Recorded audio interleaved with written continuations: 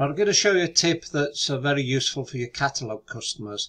I know many of you, like ourselves, uh, put a link to our shop on our date tickets uh, because believe it or not, even the 80 and 90 year old customers that we've got uh, do use the internet and uh, they do shop online and look at things online.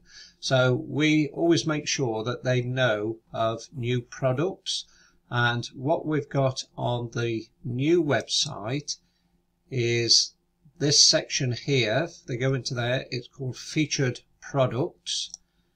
And if you can direct your customers to look at that, it's got products that are not yet in the catalogue.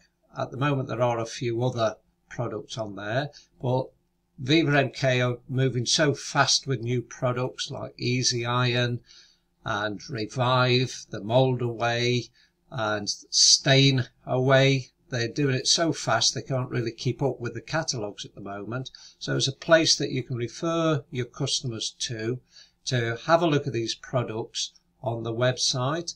And the other useful thing that we've got for uh, making sure your customers know about the new products is vivamkprinting.co.uk.